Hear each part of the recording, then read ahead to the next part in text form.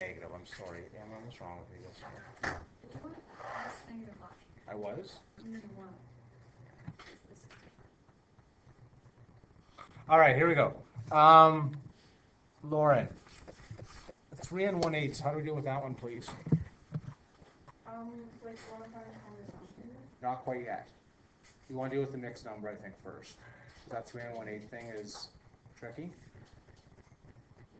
Remember back from the previous example here, how do you do, somebody help her, that's okay, I'll come back to the next one. How do you do with three and one eighths? Okay, we got so many hands, I don't know anyone's name, hold on, I don't know anyone's name, I don't know their name.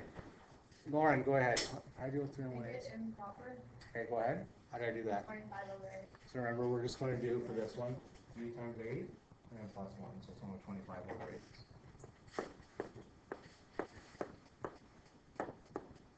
You did the perfect second step, though. The second set is perfect. What'd you say for your second step? Um, we multiply eight by five and Yeah. seven by eight. Perfect. Perfect, okay.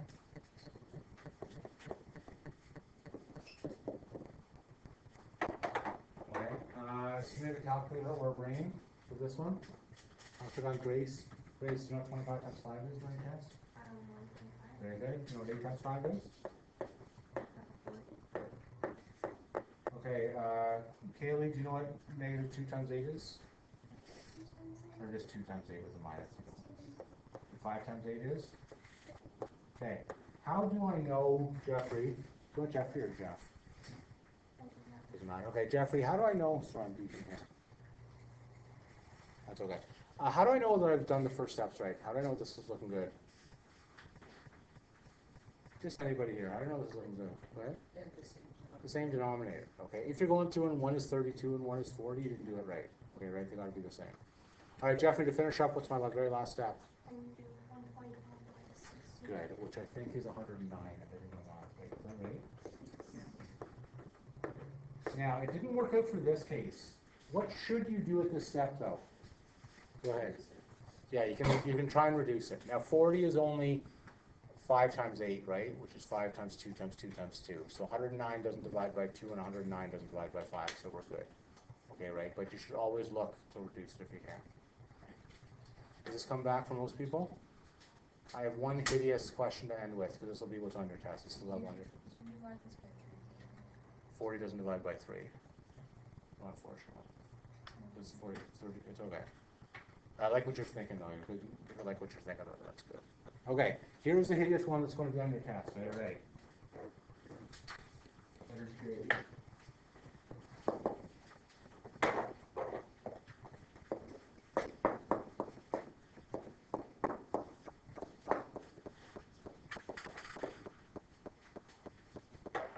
Okay, now before you freak out, I'm gonna give you some guidance before I set you on this one yourselves, okay? I'm gonna give you some guidance. Even me as a math teacher can't deal with three things at once, so you have two options. Number one is, you forget this guy's even here, and you subtract those two, and once you get the result, then you add the three and a half. Option number two is to do a super common denominator with three of them. Okay, that's the more complicated step, okay, but you can do a super common denominator. So if you've got four and three and two, that would be twelve, you do a super common denominator, okay, so you do that if you want to. The other option is just to do these two, and that's the easy way, which I would do. And then combine it and then do three and a half at the end. Either way will work. If you're sitting now, can I swear a minute, please? Uh, Tyson, can I throw it out? Gently, so not breaking your thing. Almost got it. Um, you got an extra, you want to- you yeah. Um, again, if it's too much, just do two steps at a time, okay? So start with two and one quarters, make it a mixed number, make it do one and one third, make it a mixed number, sorry. Wait, I'm just making. Improper fraction, I'm trying to say. Two and one quarter improper fraction, one and one third improper fraction, three and a half improper fraction, add the first two, then add the last one, yes. Is that, is the middle one negative or is it just? Either one, you mean the same thing. I can count as subtract, you can do that as a subtract. Like two and one quarter, subtract one and one third. Just to try your best. If you're sitting there not quite sure what to do and need encouragement, you know, uh, pat on the shoulder, uh, raise your hand, I can come and encourage you. Um, can you change the first one into an improper fraction, please? Nine over four, very good. So that's two times four is eight, plus one is nine. Um, oh, my mind's gone blank. Sorry, Carter, can you change one oh one thirty to an improper fraction, please? One times five over three. Carol, four. Because one times three is three, right? Oh yeah. Three plus one is four. Something happened there. That's okay. Four over three. And uh, the last one, three and one half changes into? What does this turn into an improper? Seven. Seven or two, very good. Okay, so I'm, what I'm, the way I'm gonna do this question is, I'm on the board, and you can do it the whole way if you want to. I'm just gonna deal with those two, and I'm gonna leave out the seven over two till the end. If you wanna do all three with a super common denominator, you may, I've never shoot with that. Okay, right, but it's a little bit easier to do it this way, I think, so it's less confusing. All right, Emma, if you go first, please, what do we do here? Uh, four times three, sixteen. For four Yeah, so let's go here for this one times three, and this one's times four. Very good. Okay, so nine times three is, Six. I can use twenty-seven. good, and four times three is? Twelve. Yeah, good. Okay. All right, um, Sydney, can you do the same thing? Four times four is, Sixteen, and three times four is? uh, twenty-one, Sorry? twenty-one, Twelve, I think, not twenty-one, three times four. Now again, if you want to at this stage, you can say to yourself, well, this is gonna be twelve as well, so I can change that to, whatever that is, forty-two over twelve, and go from there, and we'll leave it like this for now. Okay. All right, uh, Michaela, uh, twenty-seven minus sixteen is? eleven. Eleven, yes, right. And once we do that, we just repeat again, same thing. What's the common denominator gonna be, uh. Uh, what's the common denominator gonna be, please, for, um, and two? Twelve works, perfect, okay? You can times them if you want, but I'm not going to, I'm just gonna, whoops. I'm just gonna go, um, equals eleven over twelve. Plus forty-two. Is everyone okay where that came from? Please be brave and ask if you're not. Okay, everyone's good? You can change it over twenty-four, let's just bring the lowest one if you want to. Right, like if you wanna go to twenty-two over twenty-four plus eighty-four over twenty-four, that'll be fine, we'll just need to divide by two on the last step. All right, forty-two plus eleven is? Three. I think that's all we can do. I don't think fifty-three can be divided by three. Not that I'm hundred percent sure of it. Okay, everyone close their eyes for a quick second, put that to their desks. Um, who's feeling good about fractions so far, raise your hand. Who's feeling all right but could use some practice, raise your hand. Who's feeling awful, raise your hand.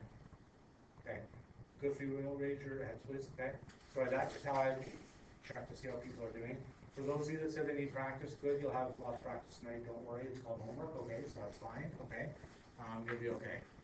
Finally, the last one is multiplying and dividing fractions, and then we're gonna head down to the staff room.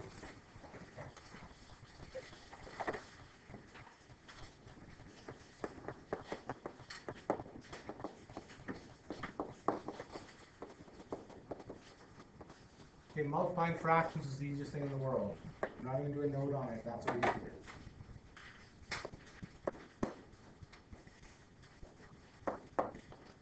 I should mention.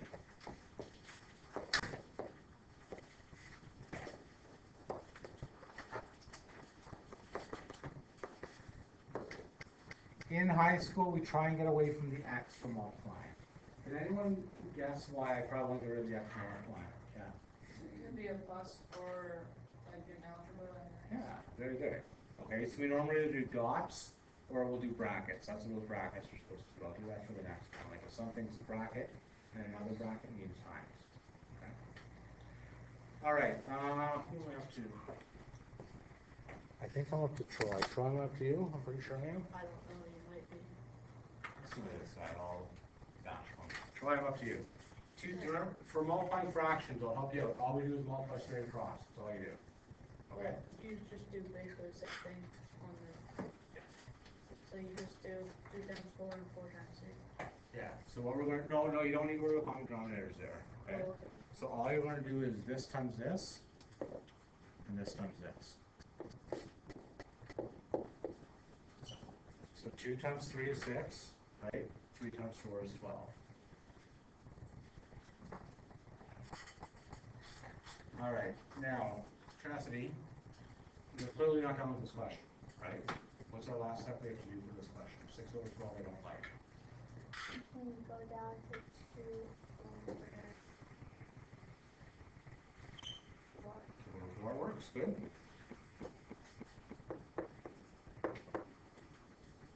All right, Nathan, two over four still doesn't make me happy though.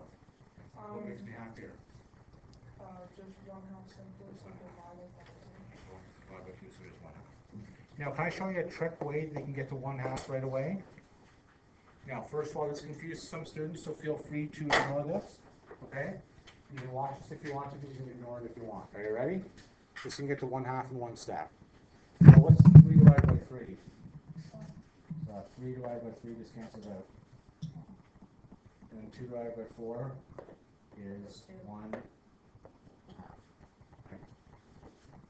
So you can do that and just go on the left, put one on the top and two on the bottom. Okay? If you don't like that, don't worry about it, it confuses half, three quarters, I'm sure ninety percent of the students confuses. Okay, so don't worry about that. Doesn't work question. That works for every question. Every question. Okay, so you can cross things out like that, and when I get to calculus, when you guys get to calculus one day, you'll see me fly through fractions, squares and b's. All right, letter L. Oh, here's a nice one. Oh, here's a beautiful one. We should have started like this one.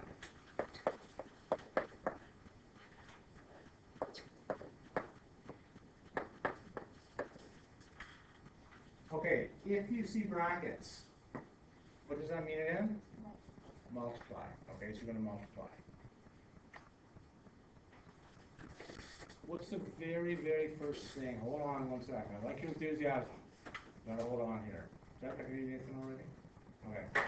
Luke, we've gone through everyone today, that's great. Luke, what's the very first thing when you see that question you wanna do? I On wanna think that it's all right. Very good. So what do you change four and one eight into? Uh,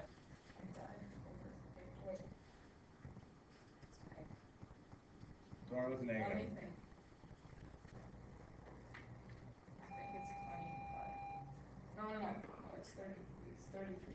Thirty-three. Negative thirty-three, right? So this, it's okay, so this is negative thirty-three over.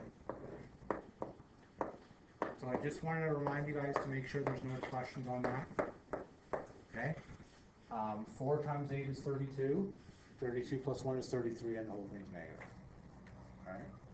Now, this is a big number, but I'm, I have great confidence in you, Helena, sorry, I forgot your name there, I have great confidence in you. What is negative thirty-three over eight times negative three over four going to equal? I have great confidence in you. Um, negative, wait, the whole thing's name? Yeah. Negative ninety-nine over thirty.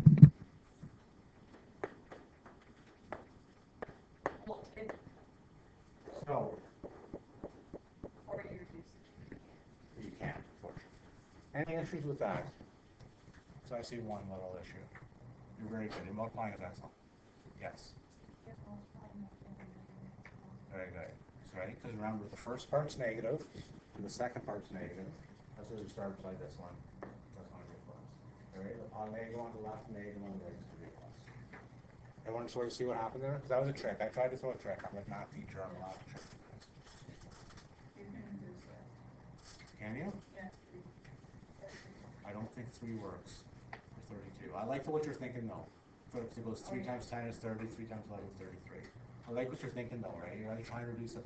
Wonderful. Okay, I think we're gonna do dividing, then we're gonna head down and get our books. Okay? Sound good? Okay, dividing fractions. This is a lot today, I know. All right, I understand that.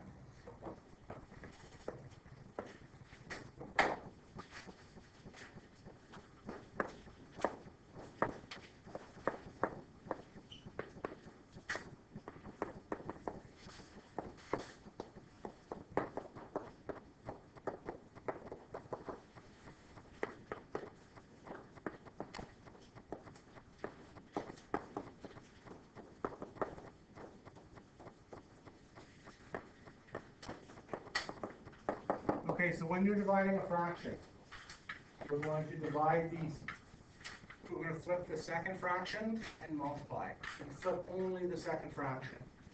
Okay, you do not flip the left one, you just flip the one on the right. Okay? So I'll go through this and then we'll pick on you guys again, okay? So what this is going to turn into, this is equivalent to two thirds times five over four.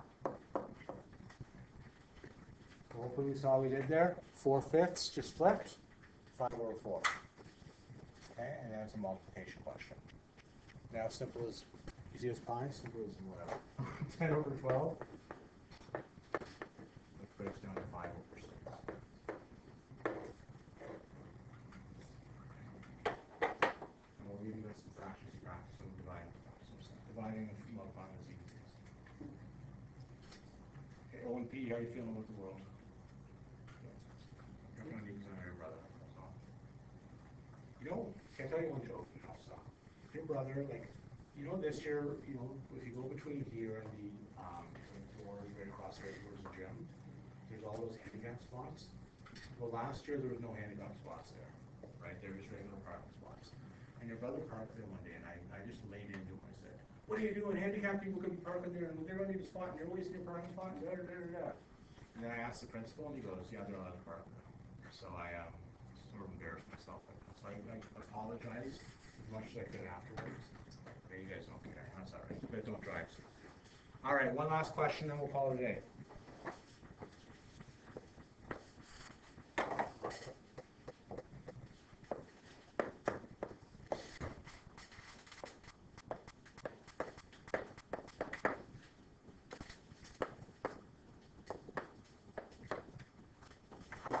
Okay. First of all, have confidence in yourselves. This one looks awful, awful, awful. We haven't talked about one thing, but I'm gonna remind you of something, yes. We have to do business. You have to always do BEDMAS in life. So if you're doing BEDMAS, what is the very first thing that we do? Brackets. I don't see any brackets. We'll leave that. What do we do next? Exponents. I don't see any exponents. What do we do next? Dividing. So the very first thing we're gonna do is this. Right here. Okay? So do that part first. Once you're on that, add that to three quarters and add to one third. Okay, and then there's your answer. I'm gonna hand out your homework. Okay, then we'll go there. Then we're gonna go down and get our next.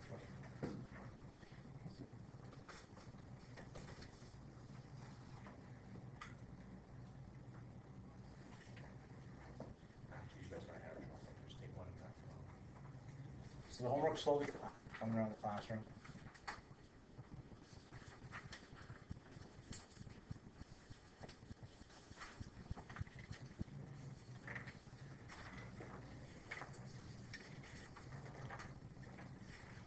Again, after tonight, everything else will be out of the textbook, okay, so no more photocopying uh, after